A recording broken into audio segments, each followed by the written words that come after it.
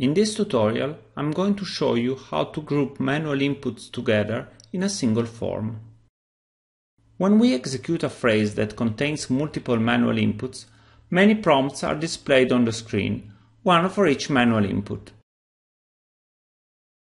We can display them all together in a single form using the input form macro, so that filling in the missing information is much faster. To add an input form macro, click on Macro Input Form. We enter the title of the form and confirm, clicking OK.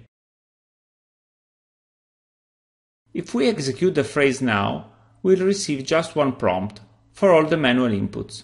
We can enter all the missing information in just one place, and we can show and hide each section of the form.